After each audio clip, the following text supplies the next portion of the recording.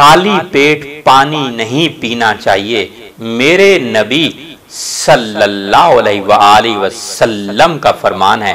کالا رسول اللہ صلی اللہ علیہ وآلہ وسلم، من شارب الماء الریق انتقصت قوتہو او کما کال النبی صلی اللہ علیہ وآلہ وسلم حضرت محمد مصطفیٰ صلی اللہ علیہ وآلہ وسلم نے فرمایا، جس نے نہار منہ پانی پیا، اس کی طاقت کم ہو گئی۔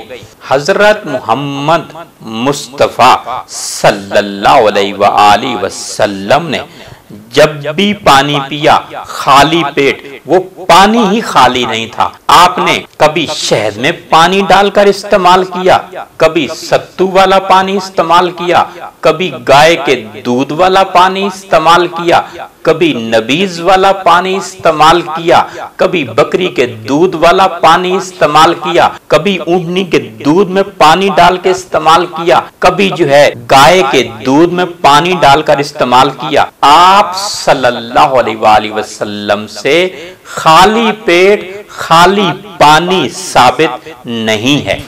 ان ابی حریرہ رضی اللہ تعالی عنہ ان النبی صلی اللہ علیہ وآلہ وسلم، من کاسر زہکا استخفا بحقہی ومن شارب الماء، علی الریق انتقصت قوتہو او کما کال النبی صلی اللہ علیہ وآلہ وسلم۔ حضرت ابو حریرہ رضی اللہ تعالی عنہ فرماتے ہیں، زیادہ ہسنا باعث شرمندگی ہے، زیادہ ہسنا اپنی وقت کھو دیتا ہے، زیادہ ہسنا اپنا احترام کھو دیتا ہے۔ اور جس نے نہار منہ پانی پیا، اس کی قوت کم ہو گئی۔